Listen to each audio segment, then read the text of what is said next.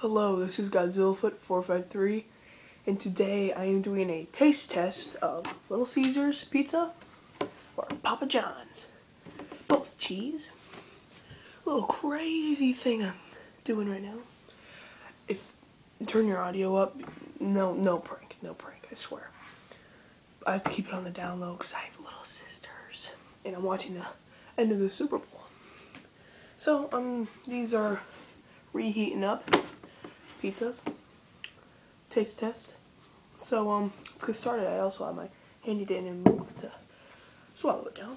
So we have the Little Caesars pizza, Papa John's pizza.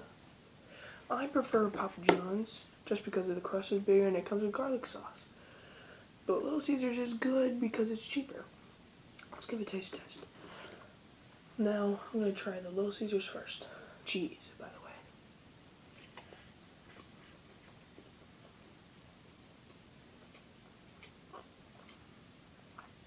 Pretty good.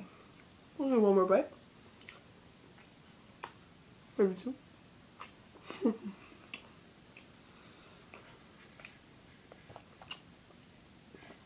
now drain it down.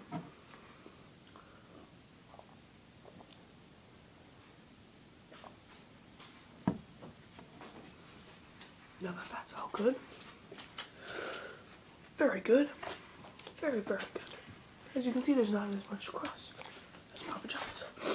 As you can see, I am in a different environment. I'm in my living room. Now, Papa John's taste. Mmm. One more. Mmm.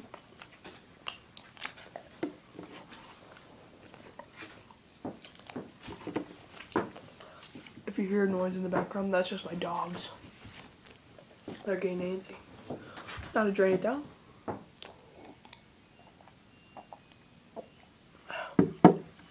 Alright. Comment which one you think is better. I'd say this has sauce, a little bit more grease, and better crust. Less sauce, less grease, less crust. So I'd have to go with Papa John's. Thank you. This has been Godzilla Foot on Super Bowl Sunday, and good night. Oh, Baltimore Ravens raw one. See you guys later. Oh, and that powder out uh, power outage was really weird. Rate, comment, subscribe. Check out some of my other videos. Thank you. Goodbye.